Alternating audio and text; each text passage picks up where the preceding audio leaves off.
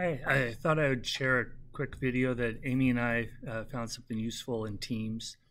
And when you're having a meeting, so I'll just start up a, a meeting with the test class that I have, and whether it's scheduled meeting or you can just do the meet right now. And uh, doing a poll or a survey in here, you have to be in the chat. So uh, you start up the chat side uh, over here. And in the ellipses, there is for forms. So you can make a quick survey or poll in here and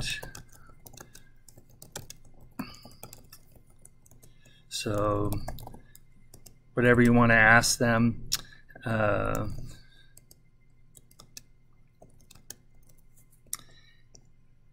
and then it gives you a little preview of what it's going to look like and then hit send and it sends it into the chat so everybody will see that and, and they'll have the choice here of how they want to respond and then submit their their answers and then you'll see the everybody will see the the results of that poll or survey or, or temperature check.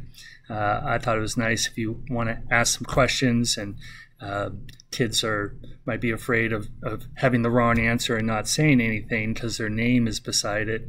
Uh, this way, it's just a, a, answer and no names associated with it. So something I thought was good.